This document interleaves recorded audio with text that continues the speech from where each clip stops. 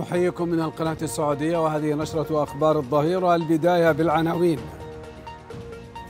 خادم الحرمين الشريفين وسمو ولي العهد يهنئان رئيس بوروندي بذكرى يوم الوحدة لبلاده. وزير الخارجية يستعرض العلاقات الأخوية بين البلدين مع ولي عهد الكويت. وزراء البريد والاتصالات الخليجيون يطلقون جائزة بحثية لدعم الاقتصاد الرقمي بالمنطقة.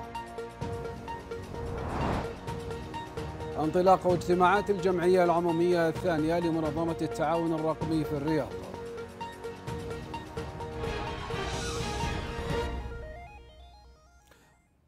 أهلا بكم.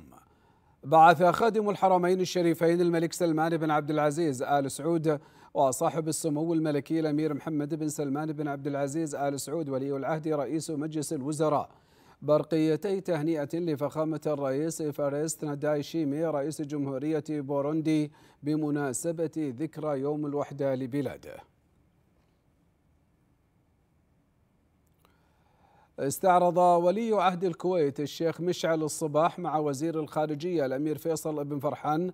استعرض العلاقات الأخوية التاريخية وفرص التعاون الثنائي في مختلف المجالات ومستجدات الأوضاع في المنطقة.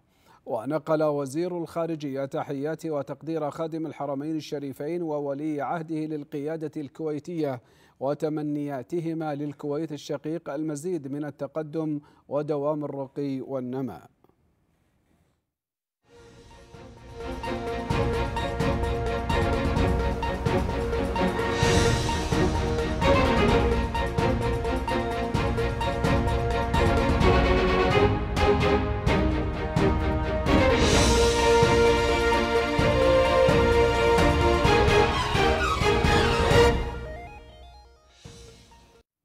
التقى صاحب السمو الملكي الأمير فيصل بن بندر بن عبد العزيز أمير منطقة الرياض في مكتبه بقصر الحكم اليوم سفير جمهورية تشاد لدى المملكة حسن صالح الجنيدي بمناسبة تعيينه سفيرا لبلاده في المملكة.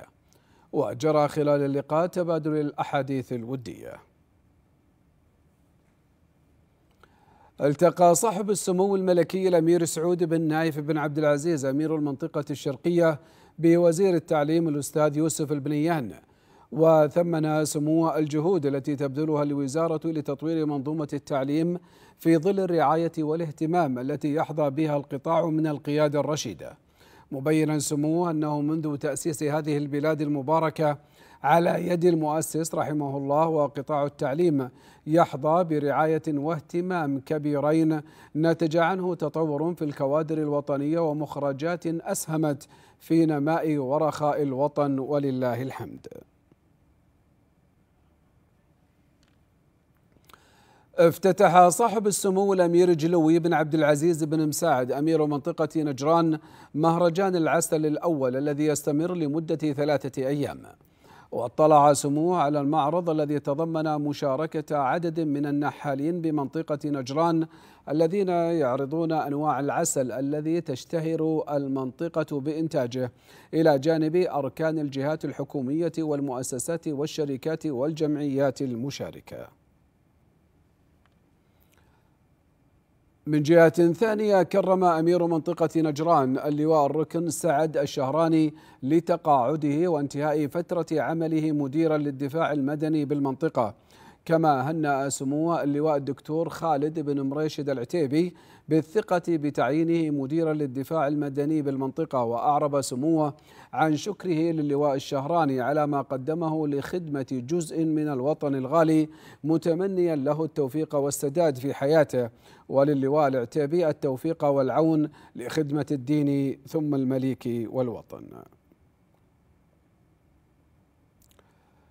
استقبل صاحب السمو الملكي الأمير الدكتور حسام بن سعود بن عبد العزيز أمير منطقة الباحة أصحاب الفضيلة ومشايخ القبائل ومديري الإدارات الحكومية والمسؤولين من مدنيين وعسكريين الذين قدموا لسموها التعازي والمواساة في وفاة أخيه صاحب السمو الملكي الأمير عبد الاله بن سعود بن عبد العزيز رحمه الله. وأعرب سموه عن شكره للجميع على مشاعرهم الصادقة سائلا الله العلي القدير أن يتغمد الفقيد بواسع رحمته ويسكنه فسيح جناته توج صاحب السمو الملكي الأمير عبد العزيز بن سعد بن عبد العزيز أمير منطقة حائل المتسابقين أبطال رالي حائل لتايوتا الدولي 2023 في نسخته التاسعة عشرة. تتويج الأبطال من قبل سمو أمير المنطقة. يسدل معها ستار رالي حائل تويوتا الدولي 2023 أول جولات كأس العالم لل cross country الباها. شهدت تتويج البطل ناصر العطية أولا في فئة ال T 1 وفي الترتيب العام والبطل السعودي أحمد الشقاوي في فئة ال T 2 بينما شهدت فئة ال T 3 تنافسا شديدا مكن البطل صالح السيف من الفوز بفارق ثلاث ثوان فقط عن منافسه البطل ياسر بن سعيدان. نسعد في اختتام هذه الجولة والحمد لله اختتمت بكل سلامة وطمأنينة على جميع المشاركين. الحمد لله كانت جولة حماسية كبيرة وطبعا رالي حال هو معروف من أهم الجولات اللي اللي يكون فيها مستوى التحدي عالي جدا. فبالنسبة لمجمل المتسابقين آه، تكون مرحلة هامة وصعبة في نفس الوقت ومن يتجاوزها ب ب ب برصيد عالي يكون حقيقة له في في ضمن جولات العالم حقيقة فرصة أكبر. هذا الرالي كشف عن بطل سعودي قادم بقوة وهو الكابتن عبد العزيز اليعيش الذي صعد المنصة متوجا بالأول في فئة التي 1 المحلية. البطولة عندنا من الخليج كان رالي حال من أقوى راليات المملكة حتى أتت السعودية بداكار. فيعني غني عن التعريف حتى في داكار من أجمل محطات هي محطة حائل. واليوم جوله من جولات بطولة العالم الحمد لله في رالي حايل. سيارتنا ما تصنفت إلى الآن في الاف اي لكني قدرت آخذ الأول على المحلي واليوم في المرحلة كنت ورا ناصر بدقيقتين وفي منافسات الدراجات النارية فقد حصد البطل الإماراتي محمد البلوشي المركز الأول. وفي فئة الكوادز كان التتويج من نصيب البطل هيثم التويجري. ختام ناجح بكل المقاييس لمهد الراليات في المملكة. محمد عثمان حائل التقى صاحب السمو الملكي الأمير فيصل بن سلمان بن عبد العزيز أمير منطقة المدينة المنورة بمدير الدفاع المدني بالمنطقة اللواء علي القرني بمناسبة تعيينه بمنصبه الجديد. وهنأ سمو أمير منطقة المدينة المنورة اللواء القرني بهذه المناسبة راجيا من الله تعالى له التوفيق والسداد في مهامه الجديدة. التقى صاحب السمو الملكي الأمير محمد بن عبد الرحمن بن عبد العزيز نائب أمير منطقة الرياض بمدير فرع وزارة البيئة والمياه والزراعة بالمنطقة المهندس خالد الصنعة واستمع سموه إلى شرح عن البرامج والأنشطة والخدمات التي يقدمها فرع الوزارة بالمنطقة بالإضافة إلى البرامج والخطط المستقبلية. التقى صاحب السمو الملكي الأمير أحمد بن فهد بن سلمان بن عبد العزيز نائب أمير المنطقة الشرقية برئيس مجلس إدارة غرفة الشرقية بدر أرزيزة وأكد نائب أمير المنطقة الشرقية على اهتمام القيادة الرشيدة بالأوقاف لتقوية التكافل الاجتماعي وتعزيز التنمية الاقتصادية. مثمنا دور اللجنة في تشجيع أهل الخير والقطاعات الخاصة والتوعية بأهمية الأوقاف. كما التقى سمو نائب أمير المنطقة الشرقية بوزير التعليم الأستاذ يوسف البنيان وأكد سموه خلال اللقاء أن القيادة الرشيدة حريصة كل الحرص على دعم التعليم وتطويره مثمنا جهود الوزارة في خدمة الطلاب والطالبات.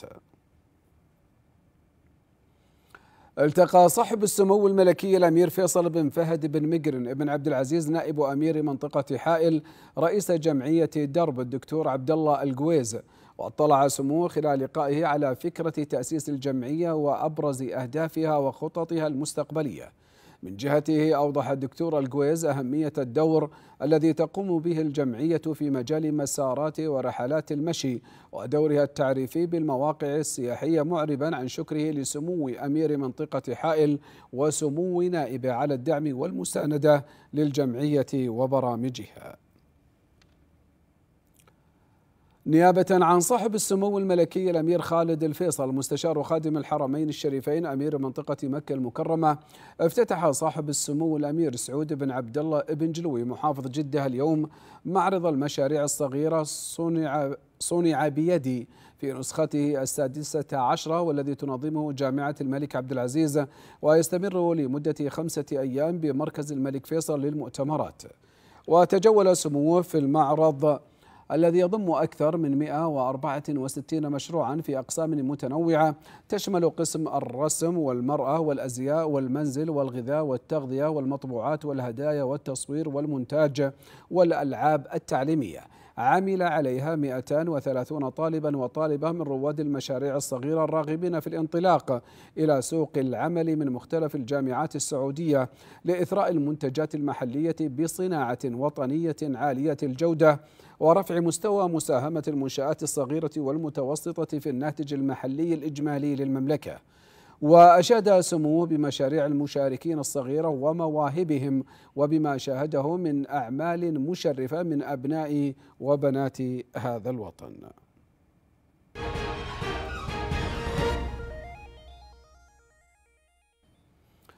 يعد مسجد الغمامة أحد أهم المواقع التاريخية بالمدينة المنورة والذي تم الانتهاء من أعمال تطويره وتهيئته للزائرين حيث يتميز بقرب موقعه من المسجد النبوي الشريف.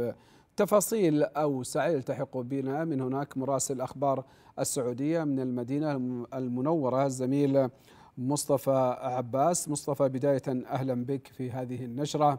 مصطفى يعني هذا المسجد هو أحد المواقع التاريخية بالمدينة والذي تم الانتهاء من أعمال آه، تطويره وتهيئته للزائرين. حدثنا عن هذا المسجد وتاريخه. أهلا بك عبد الرحمن وبالسادة الكرام المشاهدين أسعد الله أوقاتكم بكل خير، لا شك اليوم عبد الرحمن المدينة المنورة ولله الحمد تنعم باحتضانها العديد من المعالم النبوية والآثار منها المساجد ومنها أيضا المصليات الخاصة لرسول الهدى صلى الله عليه وسلم وعلى العديد من المواقع التاريخية الأخرى مثل الآبار النبوية أيضا. اليوم المدينة المنورة تشهد تطوير لهذه المواقع التاريخية وإعادة تفعيلها وإحيائها من جديد وأصبحت متاحة للزوار من جملتها هذا المكان الذي أقف معكم به الآن وهو مسجد الغمامة أو يعرف أيضا بمسجد المصلى. له قصة نبوية عظيمة وأيضا يتميز هذا المسجد بقربه من المسجد النبوي الشريف. إذ تم الإعلان عن الانتهاء من أعمال التطوير والصيانة الخاصة به وأصبح اليوم متاحا للزوار يوميا من بعد صلاة العصر حتى صلاة العشاء ليستلموا السيرة النبوية العطرة من هذه الأماكن التاريخية. لنتعرف أكثر عبد الرحمن والسادة الكرام المشاهدين المشاهدين على قصة هذا الموقع وعن الآثار الحميدة من خلال زيارة المواقع التاريخية بالمدينة المنورة للحديث عن ذلك. انضم معي الأستاذ الدكتور محمد الشيباني وهو مدير قطاع التواصل العلمي والثقافي بمركز بحوث ودراسات المدينة المنورة. دكتور محمد نرحب بكم عبر أخبار السعودية. اليوم نحن نتحدث عن مساجد نبوية صلى بها الرسول محمد صلى الله عليه وسلم وعن قصص عظيمة. لو تحدثني عن قصة مسجد المصلى أو مسجد الغمامة كما يعرف به سابقا. بسم الله الرحمن الرحيم. الحمد لله رب العالمين والصلاة والسلام على أشرف الأنبياء والمرسلين نبينا محمد وعلى آله وصحبه أجمعين. نحن نقف الآن في مسجد آه، كبير يعني عظيم من المساجد النبوية مرتبط بالنبي صلى الله عليه وسلم ومرتبط بالصحابة رضي الله عنه وهو مسجد المصلى حيث أنه لما قام النبي صلى الله قام النبي صلى الله عليه وسلم مسجده المسجد النبوي حينما يعني بأمر إلهي آه، فكان إذا جاءت صلاة العيدين وصلاة الاستسقاء يتوجه إلى هذا المكان لأنها كانت فلاته من الأرض في مكان يعني برح ليس فيه بناء. هذا المسجد يقام له منبر فكان يصلي فيها النبي صلى الله عليه وسلم. صلاة العيدين وصلاة الاستسقاء. ولذلك آه، كان هذا المسجد آه، يقع إلى الغرب. أو الجنوب الغربي من المسجد النبوي بحوالي 500 متر يقع على شفير وادي بطحان حيث من الجهة الغربية وادي بطحان. يقع أيضا شماله آه، السوق السوق النبوي وسوق المدينة فيما بعد. يقع أيضا بقيع الخيل وهو الذي الخيل حينما كانت تباع في عهد النبي عليه السلام وفي عهد الصحابة في القرن الأول الهجري كانت تباع في هذا المكان بهذا بجوارنا. آه، لما جاء عمر بن عبد العزيز آه، رحمه الله أمير المدينة من سنة 787 إلى 93 وبنى وأقام بناء المسجد النبوي من جديد طبعا بأوامر من الخليفة الوليد بن عبد الملك آه، قام عمر بن عبد العزيز فتتبع المواطن النبوية مواطن المساجد النبوية فأعادها بالحجارة المطبقة من ضمنها هذا المسجد الذي يسمى مسجد المصلى. آه، ولكن طبعا مع الزمن تهدم هذا المسجد مع طول الزمن ونجد في سنة 761 على يد السلطان الحسن بن محمد بن قلاوون السلطان المملوكي يعيد إنشاء هذا المسجد من جديد وكان طوله حوالي 14 6 26 متر في أربعة أمتار وأيضا هناك بهو خارجي في حوالي 30 في 15 آه، نجد بعده بمئة سنة جدده السلطان آه، أنيال المملوكي في سنة 861 آه، نجد أنه عيد بناءه من جديد في عهد في عهد السلطان العثماني عبد المجيد. الأول في سنة تقريبا ما بين 64 إلى 74 هجري 1264 إلى 1274 نجد أيضا السلطان عبد الحميد أيضا قام بالترميم ونجد في العهد السعودي أعيدت يعني ترميم هذه المساجد من جديد وتمت المحافظة قدر المستطاع على الشكل الخارجي وعلى الأثر كما هو بحيث أنه لم يتأثر ولم يتغير ولكن جدد بشكل جميل كما نراه اليوم آه، في غاية الروعة والبناء والنظافة إلى ما سوى ذلك. دكتور محمد يعني ما هي الآثار الحميدة من خلال زيارة هذه المواقع التاريخية والمساجد التي مرت بقصص النبي محمد صلى الله عليه وسلم؟ المدينة النبوية ارتبطت وجدانيا بالنبي صلى الله عليه وسلم ومن ثم ارتبط الناس بالنبي صلى الله عليه وسلم. فإذا المسلمون كلهم يرتبطون بالنبي صلى الله عليه وسلم. هنالك آيات القرآن تنزل في هذا في هذه المدينة النبوية. هناك تشريع هناك قصص هناك غزوات هناك أحداث عظيمة جدا في العهد النبوي. فلا يكاد يمر شبر أو يعرف شبر في الجزيرة في المدينة المدينة إلا وله تاريخ مرتبط بالنبي صلى الله عليه وسلم أو مرتبط بالخلفاء الراشدين أو بالصحابة رضي الله عنهم. إذا هنالك تاريخ يحكى في داخل المدينة. تاريخ يتحرك في داخل المدينة. أينما تحرك في داخل المدينة ستعرف التاريخ ستشاهد التاريخ. فلذلك هذا المسجد يمثل حلقة مهمة من حلقات التاريخ النبوي التاريخ المسلمين تاريخ الإسلام تاريخ الصحابة رضي الله عنهم. فحين الزيارة يرتبط آه، يعني الحاج أو أو الزائر لهذا المسجد يرتبط مباشرة بأن هذا المكان صلى فيها النبي صلى الله عليه وسلم صلاة العيدين صلاة الاستسقاء وتتبع وتبعه بعد ذلك الخلفاء الراشدين وخلفاء بني وأمراء بني أمية وغيرهم من الأمراء عبر التاريخ. إذا جزيل الشكر لضيفي وضيفكم العزيز الأستاذ الدكتور محمد الشيباني وهو مدير قطاع التواصل العلمي والثقافي بمركز بحوث ودراسات المدينة المنورة. عبد الرحمن لا شك هذا المسجد اليوم الذي يعتبر أحد أهم المواضع التاريخية في المدينة المنورة.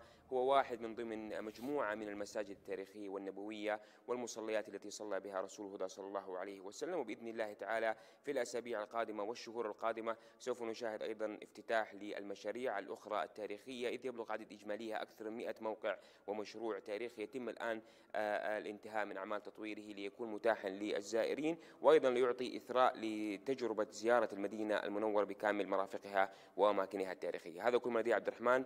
من هنا من هذا الملف التاريخي يعود إليكم جدا بالصوت والصورة. إذا آه، كل الشكر والتقدير لمراسل الأخبار السعودية. من المدينة المنورة الزميل مصطفى عباس وضيفي الكريم متحدثا عن الانتهاء من أعمال تطوير وتهيئة مسجد الغمامة بالمدينة المنورة. شكرا لك.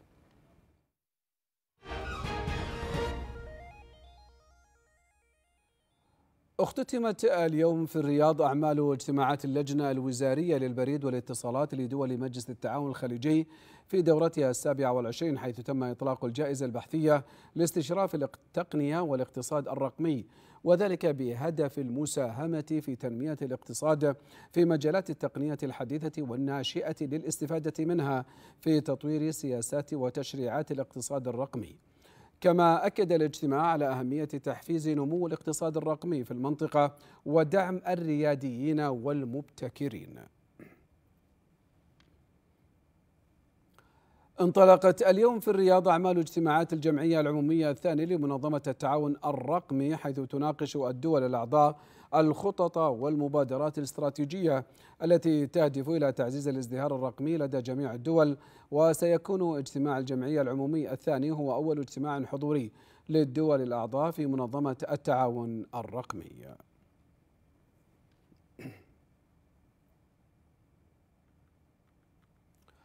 وللمزيد من التفاصيل ينضم معنا من الرياض مراسل أخبار السعودية الزميل سهل الغانمي. سهل بداية أهلا بك. سهل حدثنا بتفاصيل أكثر عن أعمال اجتماعات هذه الجمعية العمومية الثانية لمنظمة التعاون الرقمي. مساء الخير تحية لك وللسادة المشاهدين الكرام. بالفعل اختتمت قبل قليل أعمال آه، الجمعية العامة لمنظمة التعاون الرقمي المنعقد هنا في العاصمة آه، الرياض وهو ثاني اجتماع حضوري لهذه المنظمة منذ أن آه، أسست. المملكة هي شريك مؤسس وشريك رئيسي في هذه المنظمة ومقر هذه المنظمة المنظمة هو في العاصمة الرياض. بحضور معالي وزير الاتصالات وتقنية المعلومات المعلومات المهندس عبد الله السواحة وسعادة الأمين العام لمنظمة التعاون الرقمي ديما لحية وعدد من آه، مع أصحاب المعالي الوزراء من الدول الأعضاء الثلاثة عشر في هذه المنظمة. هذا ال آه، هذا ال الاجتماع أختتم قبل قليل.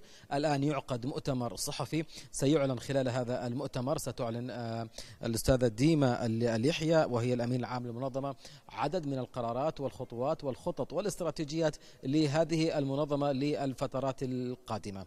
الاجتماع ما زال آه، عفوا المؤتمر الصحفي ما زال مستمرا حتى الآن وسنكون في الوقت القادم إن شاء الله لعرض هذه النتائج لهذا المؤتمر. إذا كل الشكر والتقدير لمراسل الأخبار السعودية متحدثا عن أعمال اجتماعات الجمعية العمومية الثانية لمنظمة التعاون. الرقمي شكرا لك. دعت هيئة الزكاة والضريبة والجمارك المنشآت الخاضعة لضريبة الاستقطاع إلى تقديم إقراراتها الضريبية عن شهر يناير الماضي وذلك في موعد أقصاه الثاني عشر من شهر فبراير الجاري. وحثت الهيئة المنشآت على المسارعة بتقديم إقراراتها الضريبية عبر موقعها الإلكتروني وذلك تجنبا لغرامة التخلف عن السداد في المدة المحددة. كشفت شبكة إيجار أن إلغاء العقد الإلكتروني للإيجار يكون إما بالاتفاق بين المؤجر والمستأجر أو بأمر قضائي. وشددت الشبكة على التزام المستأجر بدفع قيمة الأجرة في المواعيد المتفق عليها في حين أن أقل مدة لإبرام العقود هي ثلاثة أشهر وأن أقصى مدة تصل إلى ثلاثين عام فيما يتم إبرام العقد الإلكتروني من خلال وسيط عقاري وبموافقة الأطراف. أعلنت إدارة مرور المنطقة الشرقية وبالتنسيق مع وزارة النقل بالمنطقة أنه سيتم إغلاق طريق الرياض الدمام من تقاطع طريق أبو حدرية حتى تقاطع طريق الأمير محمد بن فهد وذلك على عدة مراحل ابتداء من اليوم الأحد. حذر المركز الوطني للوثائق والمحفوظات أن نشر الوثائق والمعلومات الحكومية السرية فضلا عن تسريبها يعد مخالفة صريحة لمجمل الأنظمة واللوائح والقوانين. كما سيتعرض مرتكبها للعقوبة النظامية تشارك خمس جامعات سعودية في الدورة الرياضية التاسعة لجامعات ومؤسسات التعليم العالي في دول الخليج من الرابع وحتى العاشر من فبراير وتقام هذه المنافسات في ست رياضات بمشاركة أكثر من ألف متنافس يمثلون 22 جامعة. بمشاركة خمس جامعات سعودية انطلق حفل افتتاح النسخة التاسعة من الدورة الرياضية لجامعات ومؤسسات التعليم العالي لمجلس التعاون لدول الخليج العربية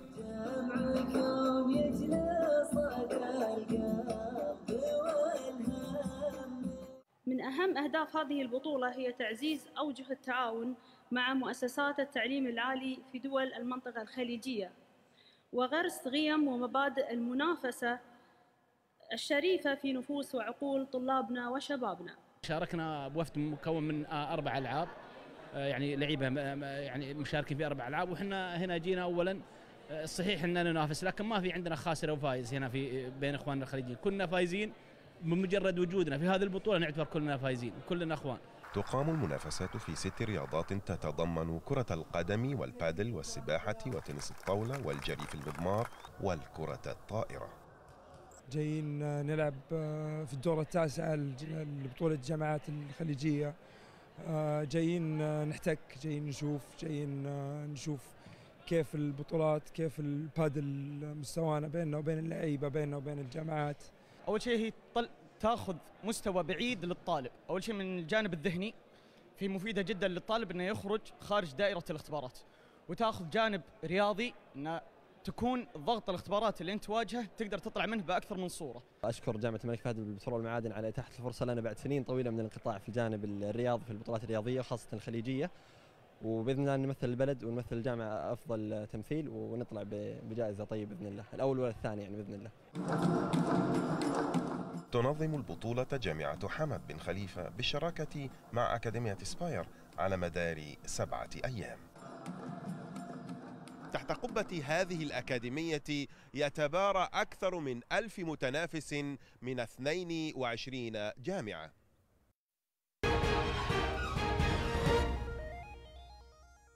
تنطلق غدا الاثنين أعمال النسخة الثانية من المؤتمر التقني الأضخم عالميا لب في العاصمة الرياض بعنوان نحو آفاق جديدة. هذا المؤتمر يتناول الاقتصاد الابتكاري والتقنيات المالية والمدن الذكية إضافة إلى مستقبل الطاقة والتقنيات التعليمية ودعم الشركات الناشئة بحضور أكثر من 700 متحدث من أكثر من 50 دولة وبمشاركة 900 شركة عالمية ومحلية.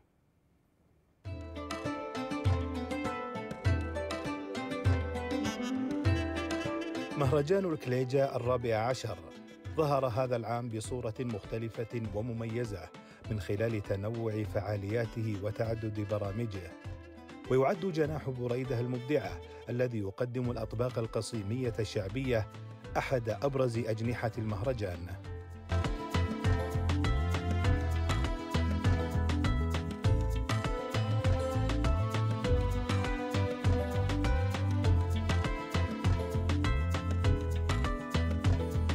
ممثل الطبق السعودي بهيئة فنون الطهي عبد العزيز الحفيتي نجح بقيادة الجناح وقدم الكليجة والقرصان والجريش والفريك والحنيني والقشد بطرق إبداعية نالت استحسان الحضور. هلا والله هم هلا فيكم في ركن بريدة المبدعة في فن الطهي. عندنا الأكلات الشعبية تقدم مذاق للزوار بالشكل الجديد والمذاق الموروث القديم. الأطباق اللي نقدمه القدوع التمر والفريك وحنيني والقشت الأطباق الشعبية والأطباق السعودية الجريش والقرصان وعندنا برجر الرز وبيتزا الرز. كل هالأطباق هذه تقدم لزوار وضيوف المهرجان. وكانت مدينة بريدة قد حجزت مقعدا لها ضمن شبكة اليونسكو للمدن المبدعة في مجال فن الطهي. وحققت المركز الأول محليا وخليجيا في هذا المجال. خالد الربعي بريدة. إذا شاهدنا قبل قليل المنتجات في بريدة وهذا السوق المتنوع. نواصل نشرة الظهيرة حيث أنهت شركة المياه الوطنية ممثلة في القطاع الجنوبي تنفيذ مشروع محطة المعالجة ومشروع خطوط وشبكات الصرف الصحي في حيي الحزم والغوث بمحافظة العقيق بمنطقة الباحة. وبينت الشركة أن المشروعين البيئيين تجاوزت تكلفتهما الإجمالية 128 مليون ريال وستعمل كمرحلة أولى بطاقة 6250 أمتار مكعبة يوميا. كما نفذت خطوطا وشبكات بلغت أطوالها أكثر من 65 كيلومترا طوليا. وأوضحت أن هذه المشاريع تأتي بهدف تأسيس منظمة الخدمة في قطاع الخدمات البيئية بالمنطقة وزيادة نسبة التغطية وتحسين الكفاءة التشغيلية ورفع الضرر البيئي. سجلت حائل وطريف اليوم أدنى درجة حرارة في المملكة بدرجتين مئويتين فيما سجلت تبوك ثلاث درجات مئوية ثم سكاكا بأربع درجات. وبحسب المركز الوطني للأرصاد تشهد معظم مناطق المملكة طقسا باردا مع فرصة تكون الصقيع على أجزاء من الحدود الشمالية والجوف وتبوك. وحائل في حين يستمر تأثير الرياح النشطة على أجزاء من تلك المناطق وأجزاء من مناطق الباحة مكة المكرمة المدينة المنورة. وكذلك الأجزاء الغربية من منطقتي الرياض والقصيم. عند علماء الأرصاد الجوية ينتهي فصل الشتاء في يوم واحد من شهر مارس. لذلك بقي 23 يوم على انتهاء فصل الشتاء أرصاديا. في هذه الفترة ونهاية التقلبات الجوية تكثر التقلبات الجوية بشكل واضح وملحوظ خاصة في الفترات الانتقالية ما بين فصل وفصل وهذا ما تعيشه أجواء المملكة. فأسبوع دافئ وأسبوع بارد بشكل واضح وملحوظ. الأسبوع السابق كان دافئ نوعا ما خاصة على السواحل الغربية ومنطقة الرياض والمناطق الشرقية. هذا الأسبوع إن شاء الله تستمر البرودة خاصة على المناطق الشمالية من المملكة. هذا اليوم وصلنا درجة الحرارة في طريف درجتين مئوية. هي أقل درجة حرارة سجلناها في المملكة فجر هذا اليوم على مناطق شمال المملكة. تكون الصقيع في ساعات الصباح الباكر على معظم المناطق الشمالية خاصة في الحدود الشمالية. من المتوقع استمرار الأجواء باردة على مناطق شمال المملكة كذلك الحال على المناطق الشرقية خاصة الشمالية الشرقية. في العاصمة الرياض تصل درجات الحرارة إن شاء الله تعالى إلى 10 درجات مئوية. لو نلاحظ الانخفاض في درجات الحرارة كان الأسبوع السابق 15 إلى 16 درجة مئوية. هذا الأسبوع ونهاية الأسبوع متوقع أن تعود درجات الحرارة إلى أقل من 10 درجات مئوية. قد تصل إلى 7 درجات مئوية. الضباب متواجد إن شاء الله تعالى على المرتفعات وقمم بالجبال في جازان والباحة منطقة عسير كذلك الحال مرتفعات منطقة مكة المكرمة في الطائف. ونتوقع بإذن الله تعالى تنشط الرياح الشمالية والشمالية الغربية في نهاية الأسبوع تثير معها بعض الأتربة والغبار ولا يستبعد تكون عواصف رملية بسبب الفروقات في درجات الحرارة وتقارب خطوط الضغط الجوي. وبالتالي تتكون العواصف الرملية مع سرعة الرياح قد تصل إلى حوالي 40 45 كيلومتر في الساعة وتكون اتجاهات الرياح شمالية إلى شمالية غربية بشكل عام. أعلى درجات حرارة إن شاء الله تعالى متوقعة هذا اليوم في مكة المكرمة في محافظة بيشة وفي شرورة بحدود ال 30 درجة مئوية. هذا والله تعالى أعلم.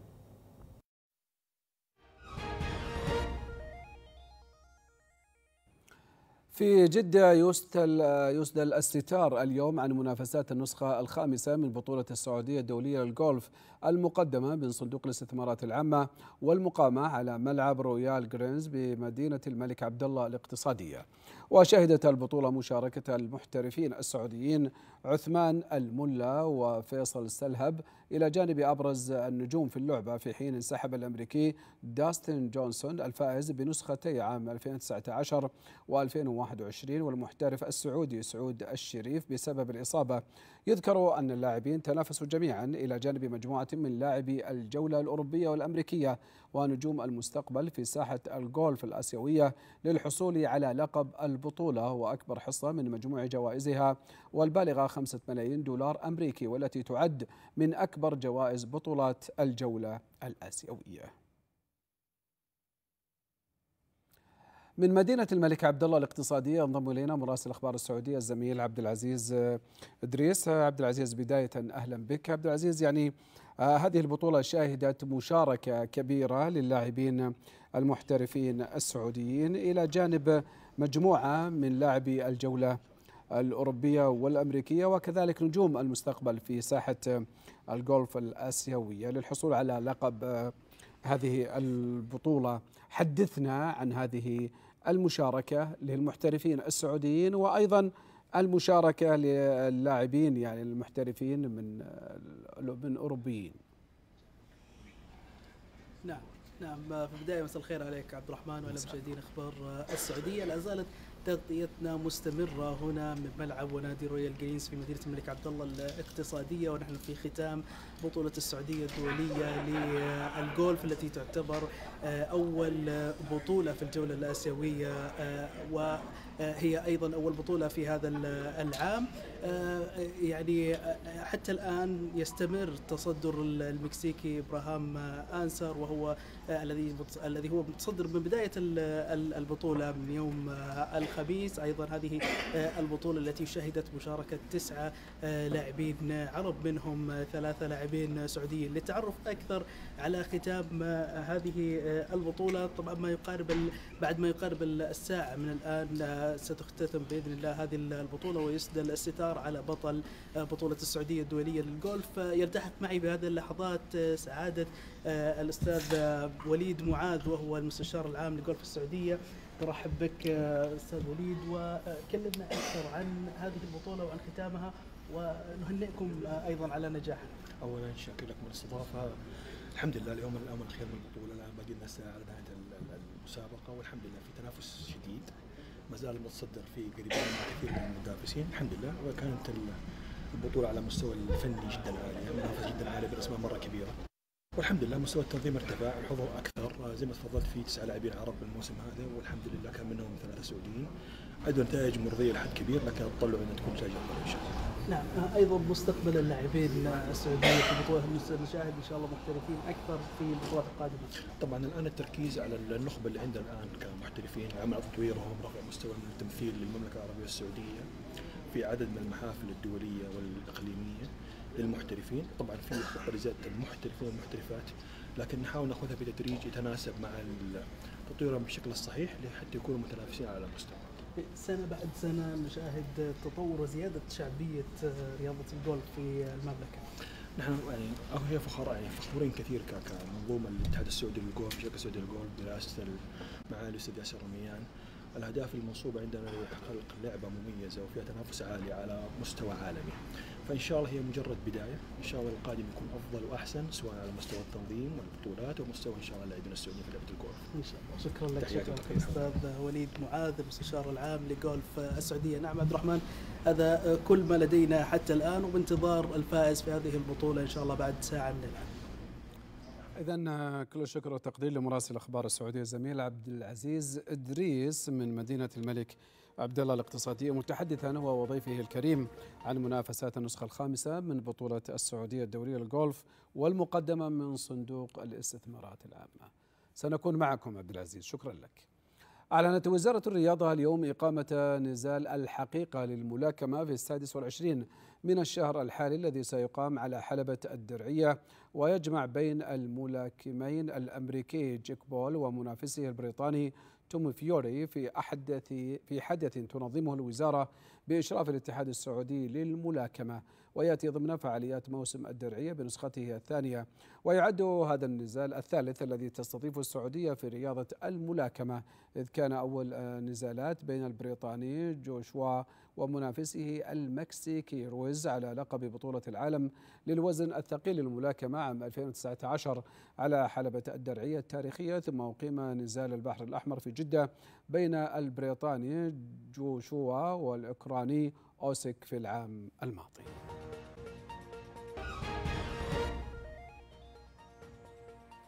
ينظم فرع هيئة الهلال الأحمر السعودي بمنطقة حائل برنامج الاستجابة آه، في البيئات النائية وهو أول برنامج آه، طبي متخصص يشمل التدريب على طرق الاستجابة للحوادث والإصابات في المناطق النائية والتي يصعب الوصول إليها بسبب وعورة المكان. لتفاصيل أكثر انضم معنا زميلنا عبد العزيز الغرير من مقر انعقاد الدورة بين جبال وصحراء منطقة حائل.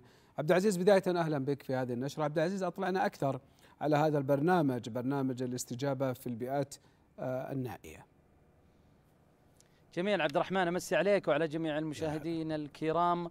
طبعا اتواجد أنا الآن في آه، شمال غرب منطقة حائل بين جبال أجا وحقيقة هذا البرنامج الذي ينظمه آه، فرع هيئة الهلال الأحمر السعودي بمنطقة آه، حائل. في الأماكن أو الاستجابة في الأماكن النائية. آه، هناك دورات حقيقة من تقدم لعدد من المسعفين في آه، هذا المكان للتعلم أو التدريب على أسعاف الحالات في الأماكن النائية، وللحديث أكثر حول هذا البرنامج يسعدني أن أستضيف معي الدكتور محمد التويجري وهو مدير عام الشؤون الطبية بهيئة الهلال الأحمر السعودي، مسي عليك بالخير. دكتور محمد ونرحب بك معنا في نشرة أخبار السعودية. دعنا نتحدث عن هذا البرنامج وفكرة هذا البرنامج وماذا تقدمون للمسعفين. يا هلا وسهلا فيك أرحب فيك وأرحب في الضيوف والسادة المشاهدين. يمكن البرنامج هذا أحد البرامج النوعية اللي طورتها هيئة الهلال الأحمر للاستجابة في البيئات النائية والاستجابة الإسعافية في البيئات النائية. وهذا أحد البرامج النوعية لأن إحنا لاحظنا أن طبعا طبيعة المملكة ومختلف التضاريس اللي فيها وأيضا استجابتنا الإسعافية تكون ليست دائما في داخل المدن أو وجود الخدمات المتقدمة فيها فبالتالي طورنا البرنامج هذا أحد البرامج النوعية على مستوى العالم بحيث أن إحنا ندرب مسعفينا على الاستجابة في البيئات هذه. طيب ماذا نتحدث أيضا عن المشاركة، أنت ذكرت لي أن هناك مشاركات من دول عربية وخليجية في هذا البرنامج. صحيح طبعا إحنا البرنامج هذا قدمناه آه، لأكثر من مرة سابقة السنة هذه قدمنا البرنامج بالمشاركة مع الجهات داخل المملكة وخارج المملكة فمن داخل المملكة تشارك معنا الشؤون الصحية وكذلك الدفاع المدني. وأيضا من خارج المملكة هناك مشاركين من الجهات الشقيقة من جمعيات الهلال الأحمر والصليب الأحمر الدولي من عدة دول حقيقة. هم مشاركين معنا مشاركة كمتدربين معنا لتقديم هذا النوع من الدورات لهم. جميل. طيب هناك دورات أنا شاهدت أن هناك دورات في هذا المخيمات ولكن ماذا نتحدث عن التطبيق الفعلي والعملي في وسط هذه الجبال وفي هذه البيئات البعيدة المنقطعة عن الإرسال؟ صحيح. طبعا آه، يمكن ترتيب أو تقسيم هذا النوع من الدورات هو آه، محاكاة للواقع الفعلي. إحنا ما نقدم فقط دورات نظرية. الدورة النظرية جزء من المحاضرات اللي إحنا نقدمها ولكن الأغلب هو تطبيق عملي. فنحن الآن موجودون في بيئة نائية فعليا. آه، ندرب الزملاء المشاركين المتدربين معنا على كيفية التعايش مع البيئة هذه سواء بالحفاظ على أنفسهم أو الحفاظ على المجتمع اللي هم مشاركين معه وحتى لو كانوا مسؤولين عن تقديم الخدمة الإسعافية زي ما هو موجود عندنا في الهلال الأحمر السعودي آه، كيفية نتعامل مع الإصابات في هذه البيئات؟ ما هي أنواع الإصابات المتوقعة؟ أنواع الأمراض اللي ممكن يواجهونها؟ وكيفية التعامل معها حتى في ظل وجود نقص في المواد الطبية الموجودة لديهم. كذلك موضوع آه، الاستجابة وطريقة التعامل مع الحالات في النقل للمسافات البعيدة. البيئات النائية دائما تكون بعيدة عن أقرب منشآت صحية تقدم خدمات عالية الجودة فبالتالي لازم يكونون المسعفين متدربين على نوع مختلف من المهارات بحيث يستطيعون تقديمها للمصاب أو المريض لا قدر الله حتى وصولهم إلى رعاية عالية بإذن الله. شكرا لكم دكتور ونتمنى لكم التوفيق في هذا البرنامج واستكمالة بقية البرنامج في الأيام القادمة. شكرا لك. شكرا جزيلا لكم وشاكر لكم الاستضافة. الله يعطيكم العافية جميعا.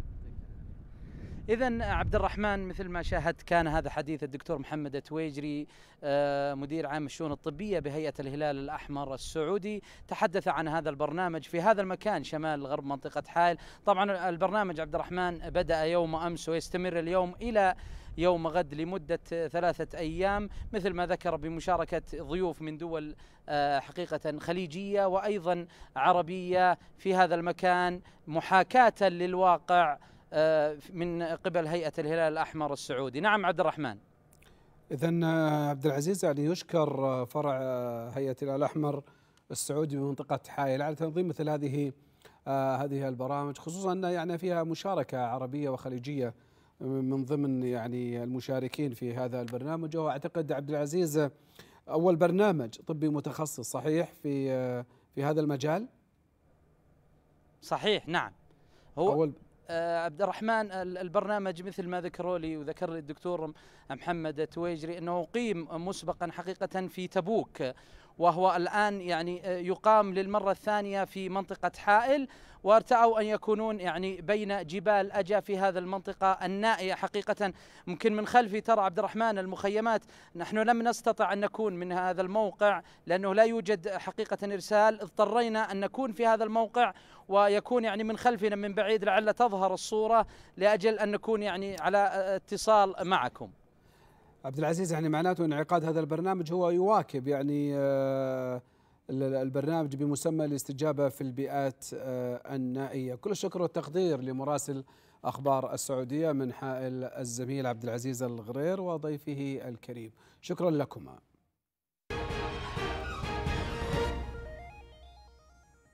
جدد مستوطنون عمليات اقتحامهم للمسجد الأقصى بحماية مشددة من قوات الاحتلال الإسرائيلي. والتي تواصل انتشارها في البلدة القديمة بالقدس وعلى أبواب الأقصى. في السياق ذاته اعتقلت قوات الاحتلال شابا وسيدة فلسطينية بعد الاعتداء عليهما بالضرب على حاجز عسكري في القدس المحتلة. توفي اليوم الرئيس الباكستاني الأسبق برويز مشرف في مستشفى بمدينة دبي بعد معاناة طويلة مع المرض. وحكم مشرف باكستان لقرابة عشر سنوات بعد توليه السلطة في انقلاب أبيض عام 1999 وفي عام 2008 تنحى مشرف عن السلطة بعد معارضة واسعة لحكمه ومساءلة من قبل البرلمان بغرض عزله.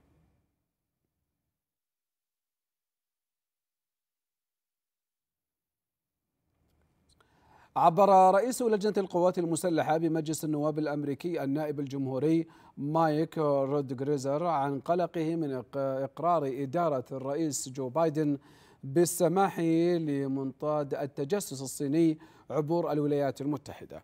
واتهم الإدارة الأمريكية بأنها كانت تأمل في إخفاء فشل الأمن القومي عن الكونغرس. والشعب الأمريكي مؤكدا أنه يجب على الولايات المتحدة أن تظهر قوتها لردع الصين وأن هذا الفشل مثال آخر على ضعف إدارة بايدن. وفي تبعات إسقاط المنطاد الصيني قبالة سواحل كارولينيا الجنوبية أعربت الصين عن استيائها الشديد واحتجاجها على إسقاط المنطاد مؤكدة أن واشنطن بالغت في ردة فعلها وأنها تنتهك الممارسات الدولية محذرة من أنها تحتفظ بحقها في اتخاذ أي خطوات تراها ضرورية للرد. جرد الرئيس الأوكراني فولوديمير زيلينسكي العديد من السياسيين ذوي النفوذ السابقين من الجنسية الأوكرانية في أحدث خطوات لتطهير البلاد من التيارات الموالية لروسيا. وقال وقعت على الوثائق ذات الصلة لحماية وتطهير الدولة من الموالين لموسكو الذين يحملون جنسية مزدوجة. أكد نائب رئيس مجلس الأمن الروسي ديمتري ميدفيديف أن القرم هي روسيا والهجوم عليها يعني هجوما على روسيا وتصعيدا للنزاع.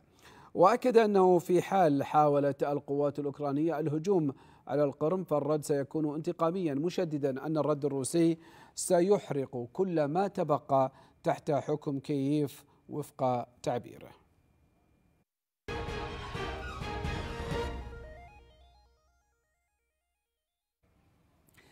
تنطلق غدا الاثنين أعمال النسخة الثانية من المؤتمر التقني الأضخم عالميا لب في العاصمة الرياض بعنوان نحو آفاق جديدة. هذا المؤتمر يتناول الاقتصاد الابتكاري وكذلك التقنيات المالية والمدن الذكية إضافة إلى مستقبل الطاقة والتقنيات التعليمية ودعم الشركات الناشئة بحضور أكثر من 700 متحدث من أكثر من 50 دولة وبمشاركة 900 شركة عالمية ومحلية.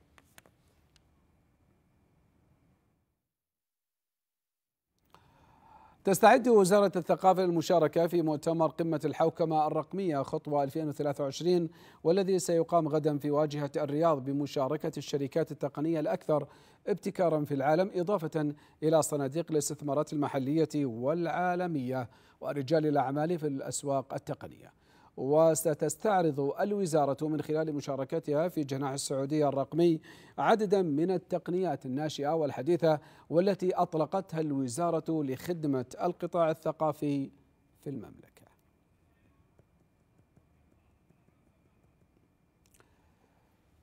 وللحديث عن مؤتمر لب وآخر الاستعدادات لانطلاقه ينضم إلينا من مراسلنا من الرياض الزميل خالد التميمي.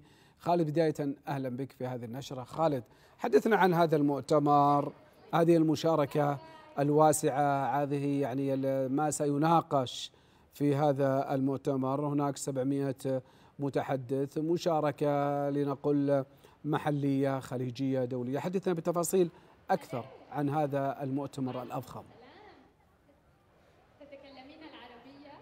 نعم تحية طيبة لك عبد الرحمن وللسادة المشاهدين. آه، بالفعل من هنا من آه، آه، مركز واجهة الرياض للمعارض والمؤتمرات تتواصل الاستعدادات لانطلاق أضخم مؤتمر تقني في العالم بداية من يوم الغد إلى التاسع من فبراير مؤتمر ليب. بنسخته الثانية. كما ذكرت عبد الرحمن يعني أكثر من 700 متحدث وأكثر من 100 ألف خبير وتقني ومهتم بالتقنية من أكثر من 200 دولة من مختلف دول العالم سيجتمعون وستتوحد كلمتهم فيما يتعلق بالقطاع التقني.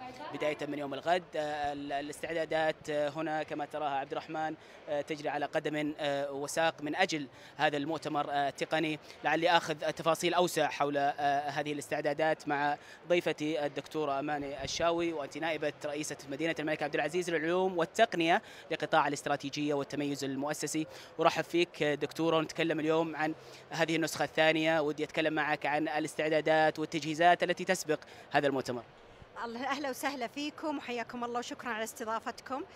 طبعا اليوم إحنا نستعد للافتتاح الرسمي غدا بإذن الله تعالى المؤتمر ليب 23 اللي هو النسخة الثانية مؤتمر ليب. المؤتمر هذا جاء بتشجيع ودعم مباشر من قيادة المملكة العربية السعودية سمو ولي العهد ودعمهم لقطاع التقنية قطاع التحول الرقمي بشكل جدا كبير. أيضا يأتي هذا المؤتمر لتواكب المملكة العربية السعودية التغييرات المتسارعة حول العالم في مجال التقنية وكذلك لتحقيق مستهدفاتنا بإذن الله تعالى رؤية 2030 المملكة العربية السعودية اليوم التحول الرقمي فيها هو عبارة عن سوق يعمل فيه أكثر من 340 ألف شخص من المواهب الواعدة. ك يعني سيدة أفخر بأنه تم فيها تمكين السيدات بنسبة 32% وهي نسبة تتجاوز ما تم تم في كافرج في الاتحاد الأوروبي كذلك في مجموعة دول العشرين وكذلك في في السيليكون فالي. المملكة العربية السعودية اليوم تعتبر من أكثر عشر دول ينمو فيها بشكل متسارع التحول الرقمي والتطور في مجال التقنية في كل المجالات. يعني دكتورة أتكلم معك اليوم المملكة تسعى إلى الوصول إلى 3% في قطاع التقنية من الناتج المحلي السنوي. لكن أتحدث معك اليوم كيف ترين أو كيف تقرأين المشهد التقني في المملكة؟ طبعا عندنا في المملكة العربية السعودية لو نظرنا إلى جميع المجالات المختلفة في التقنيات الواعدة التقنيات المستقبلية في مجالات الذكاء الاصطناعي المحتوى المفتوح في مجالات تقنيات الفضاء التقنيات الصحية الكمية في مجال الابتكار أيضا في مجال التقنية. نجد أن المملكة العربية السعودية أولتها اهتمام جدا كبير ويمكن أسهل وأبسط مثال هو المؤتمر اللي إحنا اليوم واقفين وجالسين نستعد له حيبتدي غدا بإذن الله تعالى. من أهم المهام اللي يؤديها المؤتمر ويحقق الأهداف اللي يحققها. مثلا لما نتكلم عن الاقتصاد هو دعم الشركات الناشئة. نتوقع أنه يكون في في المؤتمر معانا أكثر من 450 شركة ناشئة. نتوقع أنه يكون معانا أكثر من 500 مستثمر. بيكون عندنا بلاتفورم داعم جدا لتمويل ودعم هذه الشركات. اللي نرى فيها أكيد يعني رافد مهم لدعم الاقتصاد في المستقبل بإذن الله تعالى. نحن نترقب انطلاق هذا المؤتمر الذي يعني سيكون يعني تجمع لعشاق التقنيه في العالم. الدكتورة أماني الشاوي وأنت نائبة رئيسة مدينة الملك عبد العزيز للعلوم والتقنية لقطاع الاستراتيجيه والتميز المؤسسي، شكرا جزيلا لك. شكرا لكم، شكرا على الاستضافة. حسنا طبعا عبد الرحمن يعني كما ذكرت الدكتورة أكثر من 400 شركة ناشئة وأكثر من 500 مستثمر سيتواجدون في هذا المؤتمر وعشاق التقنية بوجه العموم سيكونوا متواجدين بداية من يوم الغد ليروا عين المستقبل العين التقنية التي ستكون من هنا من هذه العاصمة الحالمة. هذه الأجواء من هنا أعود لك في الاستوديو. لك الكلمة والصوت خالد يعني من خلال حديث ضيفتك الكريمة أنه يعني مؤتمر يعني ضخم وهناك مشاركة عالمية يعني وخليجية ومحلية. إذا كل شكر والتقدير لمراسل الأخبار السعودية الزميل خالد التميمي. شكرا خالد لك ولضيفتك الكريمة. شكرا لكم. نشرتنا انتهت بقي أن نذكركم بأبرز ما جاء فيها. خادم الحرمين الشريفين وسمو ولي العهد يهنئان رئيس بوروندي بذكرى يوم الوحدة لبلاده. وزير الخارجية يستعرض العلاقات الأخوية بين البلدين مع ولي عهد الكويت. وزراء البريد والاتصالات الخليجيون يطلقون جائزة بحثية لدعم الاقتصاد الرقمي بالمنطقة. وشاهدتم في نشرة الظهيرة أيضا انطلاق اجتماعات الجمعية العمومية الثاني لمنظمة التعاون الرقمي في الرياض. مشاهدينا شكرا لطيب المتابعة في أمان الله.